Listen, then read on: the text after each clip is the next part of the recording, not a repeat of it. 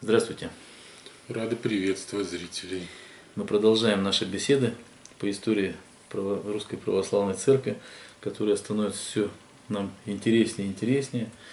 Все настолько переплетается. Конечно, чем дальше уходит история, тем больше сведений, оставшихся в истории, и они уже становятся настолько э, очевидными, настолько вот признанными всеми и историками, и наукой, и всеми, они известные все события уже. Э, то есть события 15 века это уже очень известные в истории события. Там разночтений практически ну, нет. Это очень здорово все изучено, э, описано в романах, значит, в различных. Очень Еще хорошо очень описано. Важный фактор, знаете, когда у нас начались очень обширные внешние церковные связи, там с кем угодно, с э, Ордой, с Папой Римским, mm-hmm Э, с Византией, э, с э, Венецией, у всех у них сохранились свои хроники, которые можно, вот, да, да, да. которые можно сличать и сравнивать и смотреть вот как в единую картину. То есть Конечно. не просто кто-то там один кто-то сказал, а уже видно прямо взгляд со всех ну, сторон. Ну, профессиональная историография академическая ну, этим есть, занимается, да, естественно. Есть. Поэтому верить каким-то Э, лжеисторикам тут не надо, тут надо исследовать академическое Да, то, что науки. можно проверить. Конечно, да. конечно. Э, вот, мы, э, дело в том, что вот эти события церковные, они очень сильно наложились на политические события. И без нескольких слов упоминания об этих событиях, в принципе, ну, была бы неполная картина. И мы решили маленько посвятить этому да, анализу и упомянуть о некоторых событиях. Да. Значит, э, что мы не сказали? Мы не сказали об э, идущем со стороны, ну, сказали, но очень мало, об идущем со стороны Литвы католичивании русских земель попытках окатоличивания. Мы говорили о том, что Витовт э, с Киприаном значит, вели такую политику, за что Киприан потом даже покаялся и, в общем-то, э, к своей смерти в 1408 году, он, или 407 седьмом. седьмом, ага, он уже был как бы более московский э, такой митрополит. И, и даже политически промосковский, уже чем И даже признан потом святым. Да. Вот. Ну, Витов-то остался, а у него дочка э, Витовтовна. великая княжна Софья Витовтовна, которая замужем за Василием Первым Дмитриевичем, сыном Дмитрия Донского, и которая, судя по вот таким действиям, в общем-то была такая руководительница в определенном отношении. Да, будем опять отмечать, что власть все решала власть.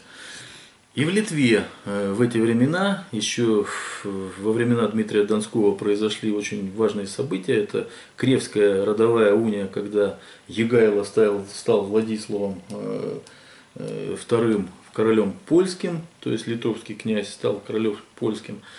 И начало католичивание в Литве. Шляхта вся да, это, да. Литовских русских земель. Она же так и называлась. Э, Великое княжество Литовское, Жематийское и Русское все, все дело производства там шло на русском языке, там все происходило. Там э, судебники были с Ярославской русская, прав, русская правда Ярослава.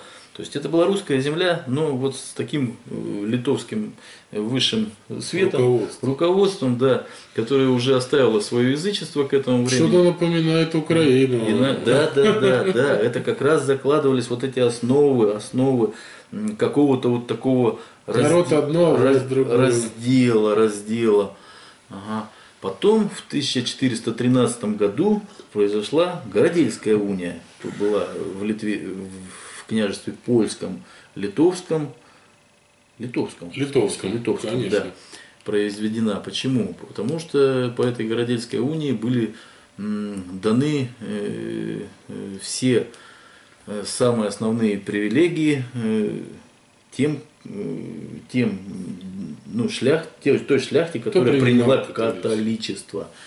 И вот в результате потом, да, потом были даже подписаны привилеи, так они и назывались, что именно католикам вот буквально, даны все права. Буквально пару слов, и Женя потом продолжит. Я, ну, буквально несколько, историческая справка. Дело в том, что все э, захватчики, все захватчики, приходившие Э, с, э, на Русь, э, в Византийскую империю, где-то какие-то другие, может быть даже в свое время, ну кроме может быть древних чингисхановских моментов, Чингисхан не навязывал свою религию. А вот э, все вот эти моменты, вот сейчас, что мы смотрим с Литвой с Византией, всегда, приходил ли это ислам, приходило ли это христианство, католичество, в первую очередь действовали каким образом? Иноверцев, то есть, например, кто желал остаться в православии, облагали огромными налогами, Дел, верь как хочешь, но огромными налогами. А если ты принимаешь ислам, тебе куча привилегий. Точно так же здесь.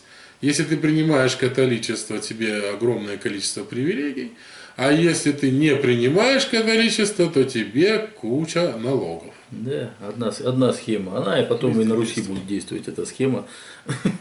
Дальше. Ну, да, это деньгами. деньгами. Проповедь деньгами такая, религиозная проповедь. Ну ладно, значит, вот этот момент очень важный. Почему? Потому что на Московию, к московскому князю э, в подчинение пошли с Литвы боярские роды в это время. Их там было что-то там больше 50 фамилий знаменитых, там и Трубецкие, там, господи, и, и Голицыны, и все Гедеминовичи, которые, короче, и все древние литовские роды, которые были православными, православными, они пошли к московскому князю. И вот это вот э, недокатоличенная э, и, уж, и уже э, около православная вот эта вот э, свора, она кинулась на Русь служить. И это потом очень скажется в истории Руси. Потому что, забегая немножко вперед, скажем так, э, вот эта вот вся вот эта вот э, пришедшая с Литвы вот это вот дух, принесший, дух принесший они явили с собой на Руси как раз э, костяк тех, кто проводил какие-то антигосударственные действия. И с ними очень жестко обошелся потом Иван Грозный ну, была подоплека такая историческая. Ну ладно, значит, э, что мы еще не сказали, э, закончив э, про митрополита Фотия. При Фотий был такой интересный человек, это был, наверное, последний такой вот явный грек, из пришедший вот на править русской православной церковью. И его действия судить трудно, о нем осталось мало источников. Вот, мы говорили. А, источников каких? О нем много очень сведений. Да, да, да. А вот именно судить о нем трудно, как о какой-то а, цельно личности. личности ага. да. Единственное, что он а, всю жизнь свою яро поддерживал, это борьбу с Золотой Ордой. То есть против всех тахтамышей там и все, он был очень всегда настроен. А вот его постоянные метания между Литвой да, да, э, да. и Москвой, они сопровождались э, очень такими. Сначала это ярый грек, который просто приехал как посол э, из Греции. Потом это ставленник на Литву, литовский митрополит, киевский и литовский. Потом череда всех вот этих Пименов, ну, Дионисиев, да, и всего остального, говорили. которые были великоросскими. Угу. И вот э, Киприан, он вечно, Фотий, он очень вечно э, колеблется с одной стороны, с другой ему постоянно приходится... Ну, он был в хороших отношениях с Витовтом. Он был. Он, вот он, это он, понятно. Он, периодически, он со, со всеми был в хороших отношениях. Э, даже с Дмитрием Донским. Но ругались они, потом мирились. А, это все зависело от... Дмитрий Донского он не застал. Ну, это уже не Дмитрий Донский, Василий а Василий, Василий, да, Василий. Да. Но, и, но и Дмитрия Донского он застал. Он застал, он даже Сергия Радонежского да, еще застал. Да, да. Вопрос только в том, что он не был тогда еще митрополитом. Ну, да. Вот в чем. А ездил как посланник. Ага. Приезжал ну, говорили, Об этом да, говорили. Да, да. Смотрите, Я к тому, опять же, вот буквально, его личность не целостна. Он всегда, куда ветер дует, туда вербы гнутся. И вот только в самом конце, как мы уже говорили, он принял такую промосковскую сторону. Промосковскую, но в то же время при подписании Василием I духовной грамоты э, там был такой пункт, что отдать под опеку московскую землю Витовцу. Вот это понятно, что там и Софья Витовна настояла на ну, этом. Все, наверное, самое. Да, да. Ну, было бы еще понятно, если бы было указано, что Василий II является великим князем, а ему там помогает как-то вот его дед Витовт, значит, ну, помогает ему удержаться на троне, ему уже было мало лет. Маленький еще. Маленький да. еще, да. Это было бы понятно. А тут, тут он поручает прям землю, поручает э, и свою жену, и великого князя поручает Витовту. Вот такая вот схема, она была воспринята очень жестко э, на московской земле. Ну. И, естественно, там участвовал и Фотий в этой, в этой Всегда в этом- подозревались э, другие э, политические интересы. Да-да-да. Элиты Ну, политические. очень негативно было воспринято это на Руси. Почему? Потому что был жив, не то что был жив, а был еще в полном цвете своих рассвета сил Юрий, князь Юрий Дмитриевич, Ага. мла- младший сын Дмитрия Донского, который согласно лестнич- лествичному праву и оставленной духовной грамоте Дмитрия должен был после Василия стать великим князем. Вот такая получилась интрига. Эта интрига получилась из-за существования еще на этих землях этого древнего славянского, по сути варварского обычая Обычая. лес- лествичного права, когда передавалось э, э, по старшинству То в роду. И вот это вот, э, вот это вот именно э, вещь, она привела к колоссальнейшей гражданской феодальной войне, которая продлилась почти 30 лет на московской земле. Но она, в конце концов, эта гражданская война поставила все на свои места. Значит, э, еще, Достигла своей да, цели. еще одно было событие. В 1426 году при Фотии э, прекратила существование Владимирская Э, С княжество. Владимира Суздальская Русь, да. Нет, в 1426 году Москва официально стала столицей, а в- через два года, в 28 году, Владимирско-Суздальское княжество прекратило свое, было ликвидировано и присоединилось к Москве. То есть вот за э, практически более, э, когда у нас Владимир-Суздальское с Андрея Боголюбского, наверное, началось, или даже с Юрия Долгорукова, Ну да. такие фундаментальные были заложены. То есть вот через э, 200 с лишним лет прекратила, э, ну через 200 лет прекратила вот это вот э, 200 с лишним. Э, Уже Владимир- просто Москва стала Просто центром влияния. акцентирую на том, что Владимирско-Суздальская Русь имеет четкие границы исторические. Вот что, и вот что интересно. Топографически. 1426-1428 год – это прекращение существования Владимирско-Суздальской Руси, и уже Северная Русь была чисто Московская Русь. И борьба была уже за великокняжеский Московский престол. Ну так вот, Юрий Звенигородский, Юрий Дмитриевич был очень знаменитым, очень сильным, мощным князем, довольно авторитетной и действительно исторически симпатичной личностью. Вот что бывает в истории, когда э, вот э, симпатичному человеку не достается власть, когда хотелось бы вот, может быть, вот так вот оглядываясь туда, да, мощный князь, да, очень А благ- благо- испортил- благородный, испортился? очень честный, очень честный. Он соблюдал все договора почти. Ну, были там какие-то моменты, но его довели, довели до белого коленя. Вот. Значит, э, и он э, после смерти в 25 году уступает, э, уступает, не стал он бороться с Василием Первым военным способом, хотя к этому подходило за великокняжеский московский престол, и оставил своему племяннику э, малолетнему э, до выяснения отношений законно в Орде. И опять князья пошли в Орду. Орда уже разваливалась, ее можно было добить уже. Я не знаю уже, ну, можно было не слушаться. Нет, опять за великим княжением пошли в Орду. Ну что, ну Орда всегда рада таким, взяткам. таким вещам, значит, и там произошла такая в 31 году, когда умирает Фотий и умирает Витовт, они пошли в Орду. Это в 31 году было. Ну, после смерти она- Фотия и Витовта, да. Ну, Василий I, ой, Василий II, э, значит, побеждает в этом споре, э, благодаря там э, такому, был такой боярин Всеволожский, который э, там замолвил какое-то очень мощное слово, и, э, значит, Ордынский хан принял решение отдать Великое княжение Василию II законно.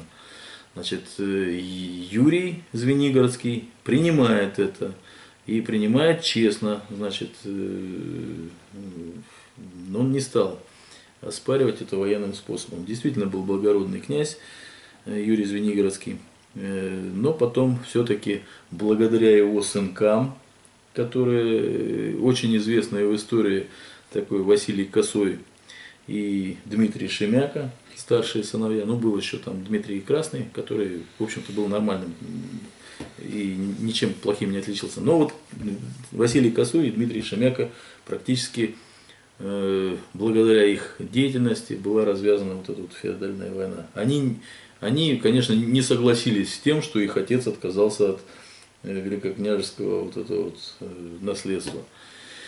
И они начали подбивать своего отца. Там была еще интрига, которую опять же запустила вот это вот бабище Софья Витовтовна, которая там оскорбила на свадебной каше Василия, будущего Василия Косова, он тогда еще не был косым, ему еще не выкололи глаз.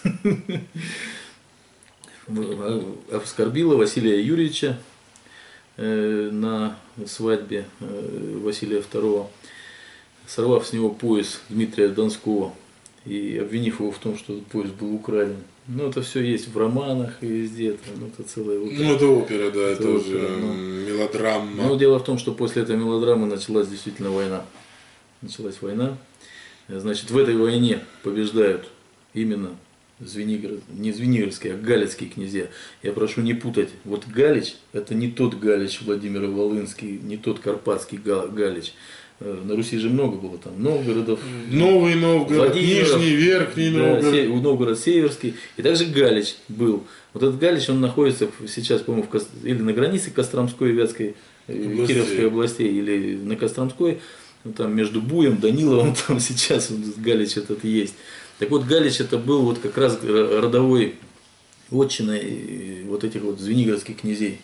Юрия Звенигородского и его сыновей. Вот это был их стольный град удел, Галицкий удел, э, чтобы не путали. Да, это действительно вот рядом, вот в этой центральной Руси, тут рядом и Кострома, и Ярославль, и Углич, значит, вот в этих местах и заворачивались все эти события. И они отбили, отбили военным способом. Они разгромили московских э, вот этих Василия II э, войска, разгромили и отбили. Значит, ну, потом Юрий опять проявил благородство, отдал, э, а нет, секунду, ну там, ну неважно, там путалось, нет, после этого вот оскорбления, нет, как раз они пошли войной, он взял и в 1934 году ненадолго становится э, великим князем московским, взял его военным путем, но недолго прожил, всего три месяца, и умер Юрий Звенигорский. И после этого начинается опять эта каша, которую продолжили его сыновья Василий и Дмитрий Шемяка.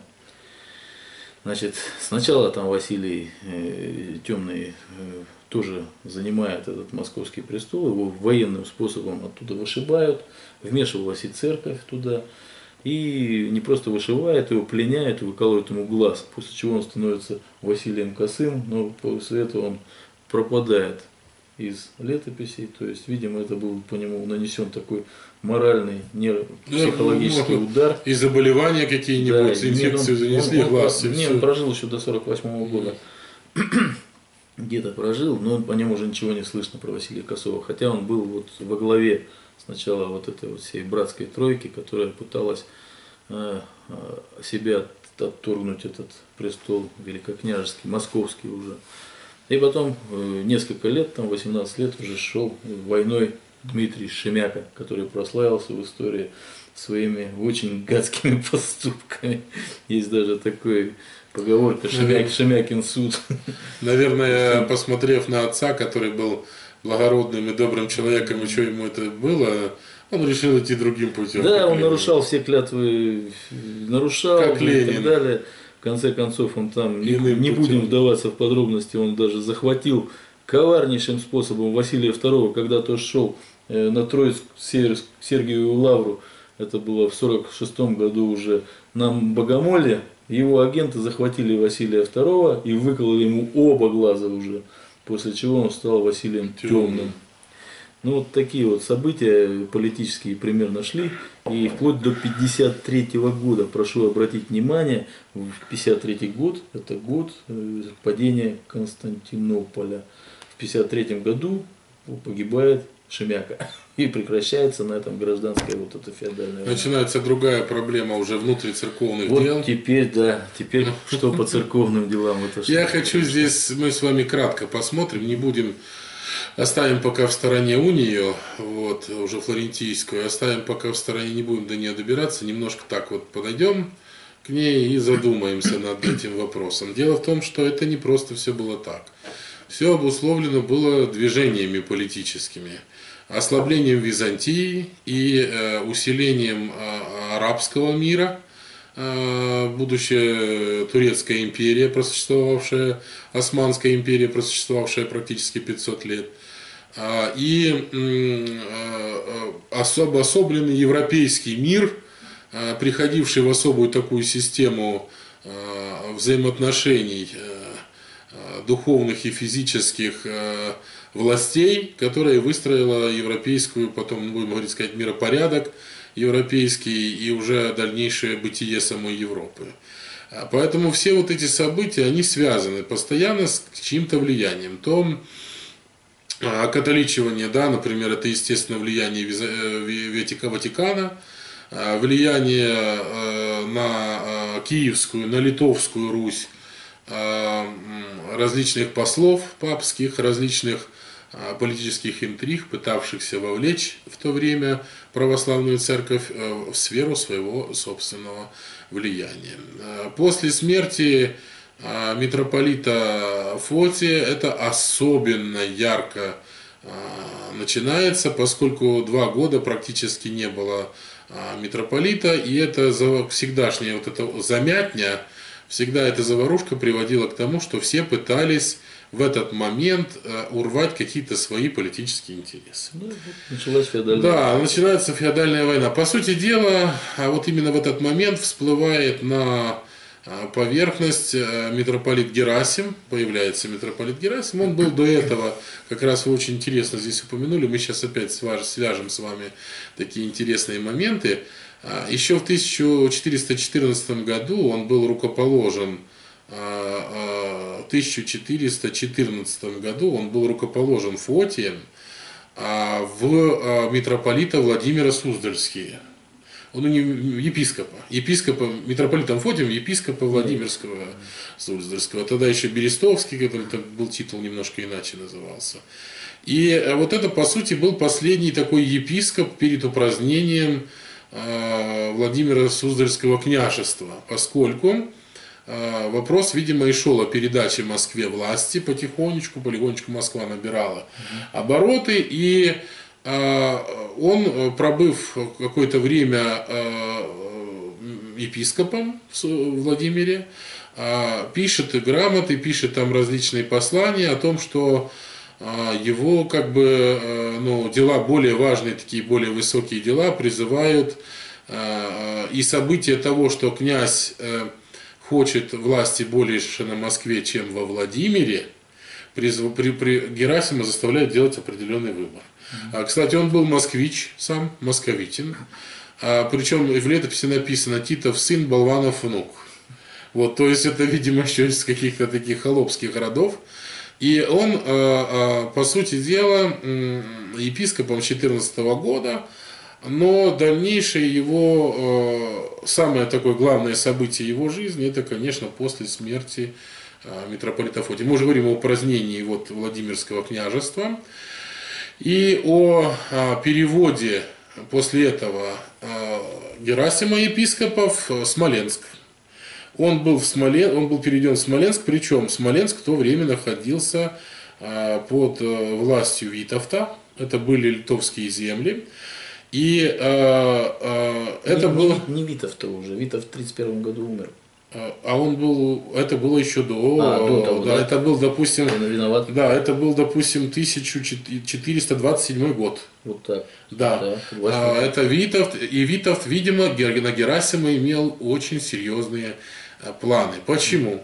Потому что а, Витовт, перешедший в Смоленск, нашел, э, э, Витовт, видно, какие-то идеи только продвигал, а вот уже Свидригайло, э, он пишет папе Евгению IV, это буквально уже ну, допустим, 1431, 32, 33 год, допустим. Можешь сказать, кто такой Свидригайло? Ну, расскажи, конечно. Имеет Да, да, да, да. Значит, ну мы упомянули, когда вот эти привилегии начались католикам, э, православные вот эти вот, они не сразу рванули на Москву, они, конечно, боролись, православные князья в Литве. Э, Многие боролись, и во главе их стал Свидригайло. Кто он там по родственным отношениям Витовту приходится? Ну, кто-то приходится там тоже. Он тоже был великим князем. Сразу сделаю буквально маленькое престол. уточнение. Дело в том, что борьба могла быть разная. Например, э, э, кто был чисто католическая партия, Вот то есть интересно. Папа Римский пришел и Да. все. А многие были за унию. То есть, что Вот. такое уния? Сохранение вот всех восточных православных обрядов, но по- подчинение римскому папе. И вот, наверное, скорее Свидригайло был к этой партии. Может относился. быть. А вот историки говорят, что он был такой православный заступник, а вот теперь вы вот открываете глаза. Свидригайло был э, э, человек, склонный к унии. Да, да, да. Ну, его Сразу уточню тоже. Он пишет папе Евгению IV э, о том, что у него вот прекрасный митрополит Герасим есть, который потрудился много для дела унии. Вот так. Это письмо есть Свидригайло в Ватикане. Вот так вот. Вот, поэтому немножко надо развенчать образ Свидригайла. Ну да, он не совершенно православный. был. Да, он его отодвинул. Ну, видимо, поэтому, увидев вот такую вот, э, такую ложь, видимо, многие православные вот эти вот литовские роды, они и ушли из Ну. Литвы. Ушли. Еще нужно одну вещь упомянуть.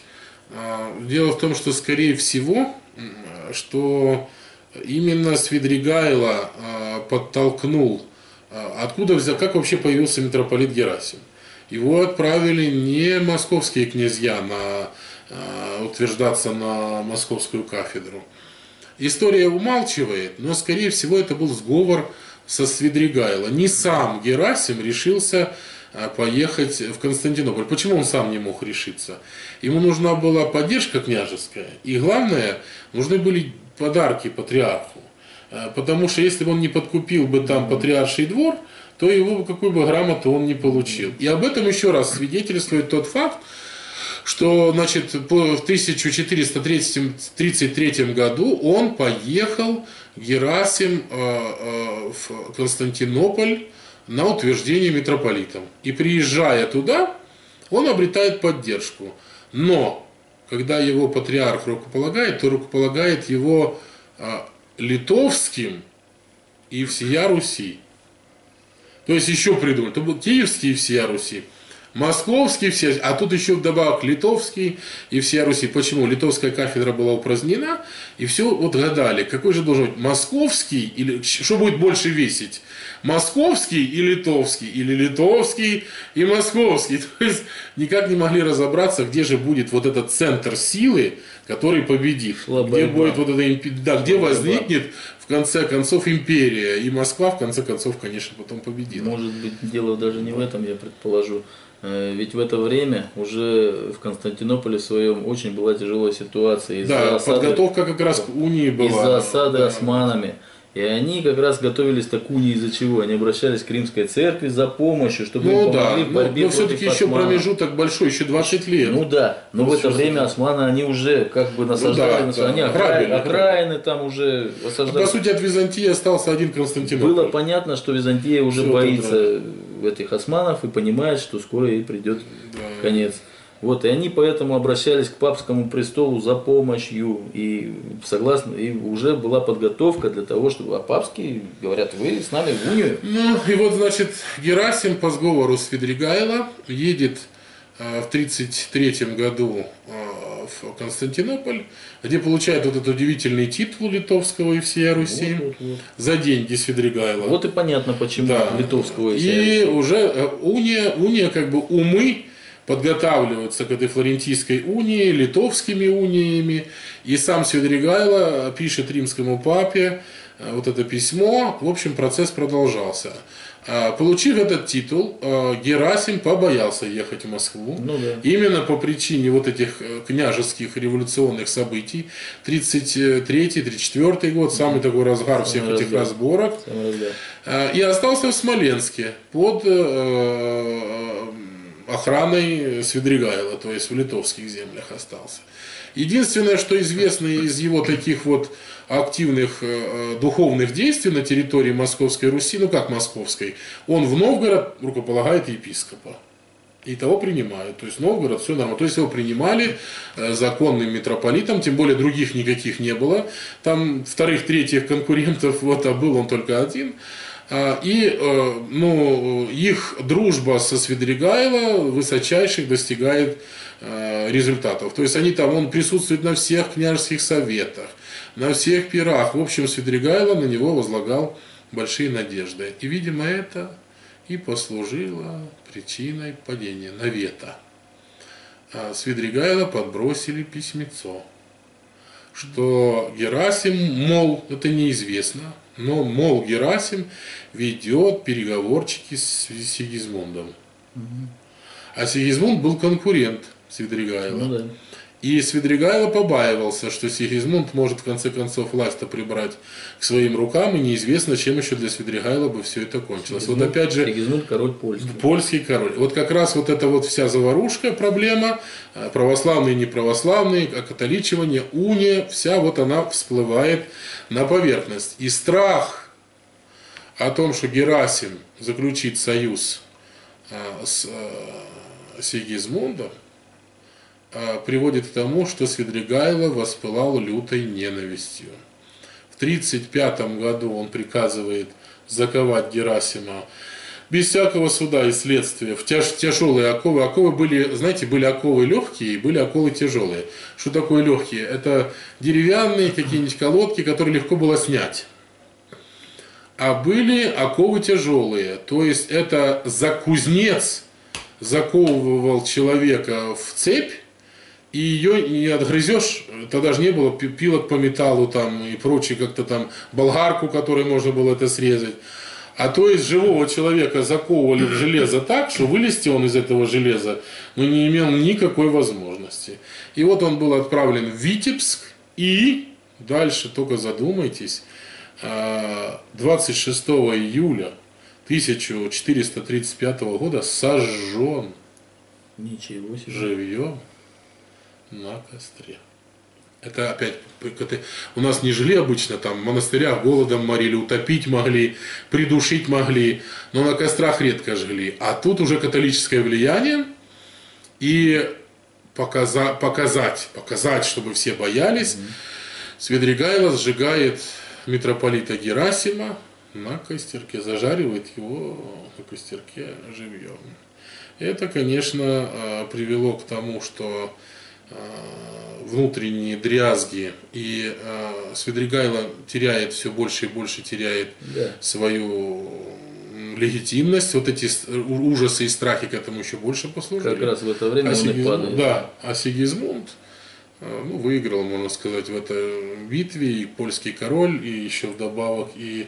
Он назначает своих наместников на Литву. Да, и католицизм и он вводит полностью. Уже не уния, идет уже разговор не, не об унии, а, а полном окатоличивании, да, нормальном, обычной форме, не смесь какая-то униатская, а конкретно просто чисто католический. Обращаем подход. внимание, что это как раз Литва, это территория и Киевская, да, да, да, и да. Черниговская. Конечно, и половина Белоруссии практически. Современная Украина, Белоруссия. Да. То есть там шло вот такое насильное э, окатоличивание. Но сопротивление людей было, простого народа было. А И больше того, я думаю, что именно вот эта попытка насильственного введения католицизма все больше и больше содействовало национальному самосознанию да, да, да. Да, Руси. И потом мы увидим с вами, вот сейчас дальнейший будет самый вот этот э, э, этап осознания русского, русской идентичности будет при следующем митрополите Исидоре, который и э, расставится при нем все приоритеты, все точки над точки «и». над «и», да, и уже будет явно произойдет вот это Э, создание, будем, как говорится, московского государства, э, православной, православной державы. державы, ее идеологии, ее место в мире, взаимоотношения со всеми, со всеми, с югом, с западом и прочее, ее уже отвержение от монголо-татарского ига и прочее, все остальное, это вот сейчас мы вот буквально... Ну, поэтому мы оставили митрополита Исидора да, на, на следующий, следующий раз. Ну и вот такая вот коротенькая. Да, она не коротенькая, она нормальная, но мне даже кажется иногда, когда компактно, оно лучше запоминается. Да. Спасибо всем. Спасибо всем. Всего доброго. До свидания.